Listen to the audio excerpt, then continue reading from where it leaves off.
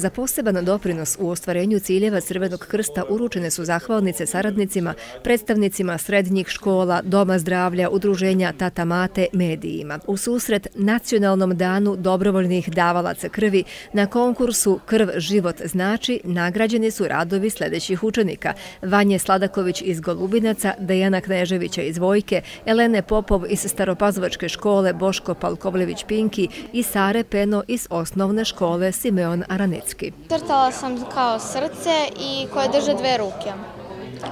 To srce predstavlja tu krv neku i na njemu je nacrtana e, znak crvenog krsta.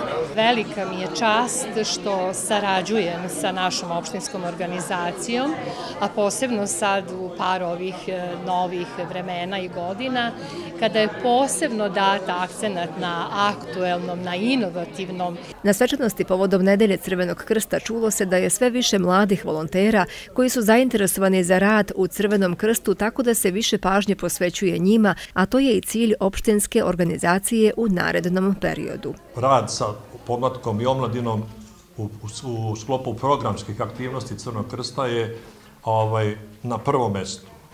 I upravo ovo sad što se dešava druženje sa omladinom ovaj, u nedelji Crvenog krsta, kažem, nije slučajno.